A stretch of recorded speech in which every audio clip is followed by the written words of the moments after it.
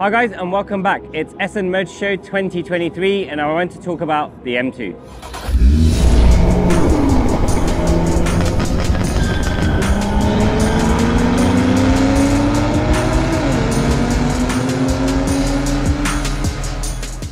A lot of people weren't sure about the G87 M2 when it came out, but I was always convinced that it would be a great base for modifications and I haven't been disappointed.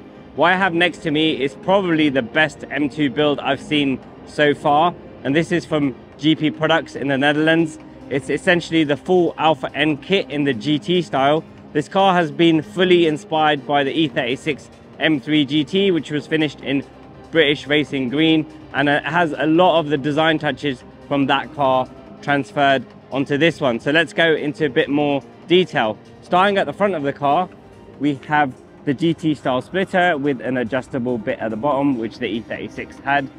It also has a carbon fiber center grille here, which is different to the stock one. Instead of multiple slats, it just has one in the middle here. As we'd expect from Alpha N, the carbon is actually very good quality.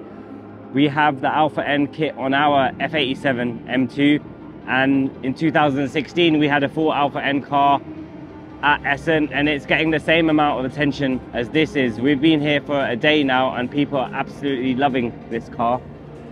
The bonnet is also vented at the front, much more aggressive than the stock one and they've left it partially painted and exposed so you can see the carbon through it.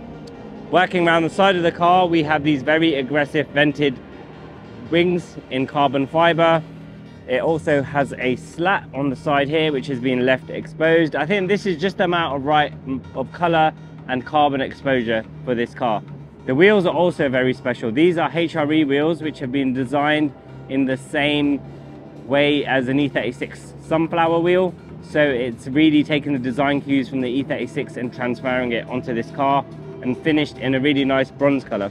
Coming around to the back of the car, for you guys that know the E36 M3 GT, if you don't, please go and Google it.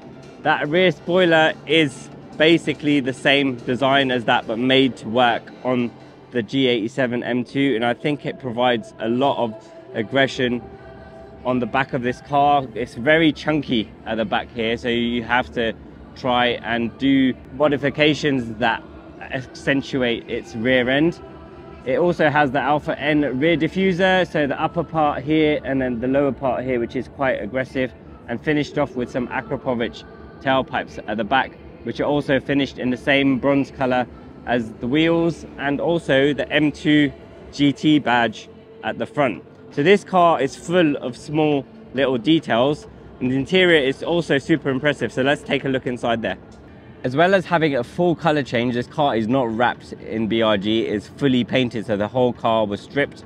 And while they did that, they also fully redid the interior. There's lots of Alcantara, green leather, and it's also done in a similar fashion as the E36 M3 GT.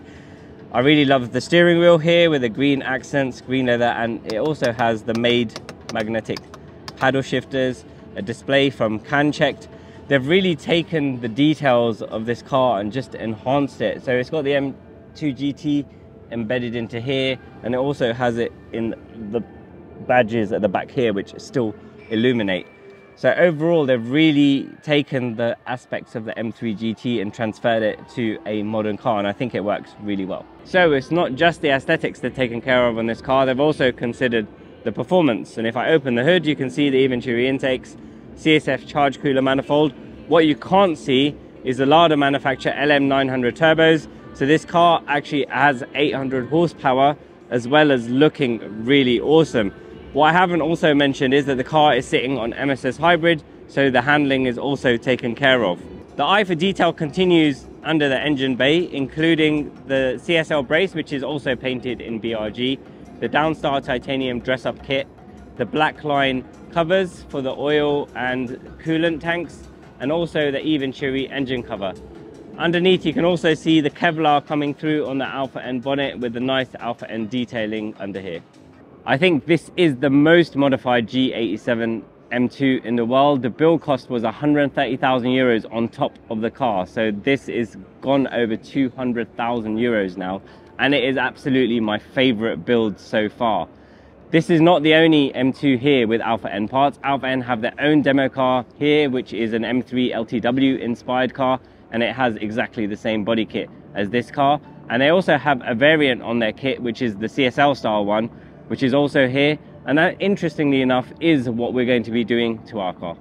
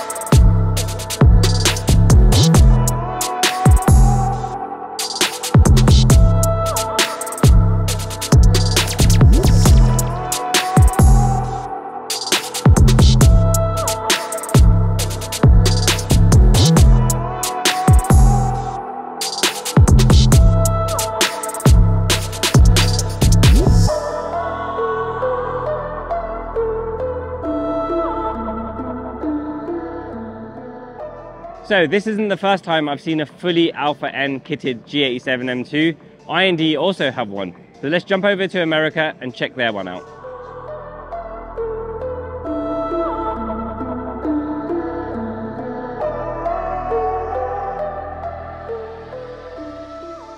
I'm going to do a walk around of IND's stunning G87 M2 which is just making its debut at Impact. It has a whole host of aftermarket parts on it and it looks absolutely stunning. I'll start at the front end. So over here we have the Alpha N grills, Alpha N front splitter, upper and lower, and BMW M Performance inlets. You can also see the yellow Motorsport Plus lights. Coming into the engine bay, we have the Eventuri intake finished in matte and the engine cover and a full line strut brace. Moving over to the side of the car, you can see the BBS E89s these are a Japan only exclusive. No spaces, so the fitment is perfect. You've got the Alpha N wings with the GT3 RS style vents and the flipper here. You can see the bonnet as well. That's Alpha N, so it's almost like a GTS style, but the vent is a lot bigger. This is full carbon, but then painted the whole car and just left this bit exposed. One of the main party tricks of this car are the CSL seats. So this is probably the first G87 M2 that's had the CSL seats fitted inside. It looks absolutely amazing. I sat in them earlier. these seats are great. They're comfortable and supportive at the same time. And you've got the roll cage in the back color matched to the car. Moving around the back of the car, you can see the Alpha N E36 M3 GT style spoiler, which is the upper part and this lower. Again, that's full carbon, but they've body matched the lower part. And on the rear, we have Eisenmann exhaust with a carbon fiber tailpipes and the Alpha N upper diffuser and the lower tray. The car is sitting on KW V3 Club Sport suspension. And this is a manual M2 also for your driving purists, you'll be happy about that. The car looks stunning. It's got a lot of parts on it, but it's very cohesive.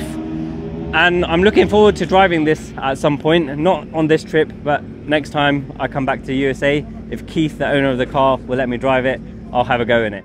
When the G87 M2 came out, lots of people were unsure of the looks. I always thought it would be a great base for modifying, and Alpha N have really taken this car and enhanced it to a level where this is how it should have looked from the factory, or at least the special versions should have looked. So we've covered both kits, the GT style and also the CSL style, which I did mention we have going on our car. But now looking at both of them, I'm a little bit unsure. Which one would you guys pick? Would you go to the GT style one? Or would you go for the CSL one? Let us know in the comments.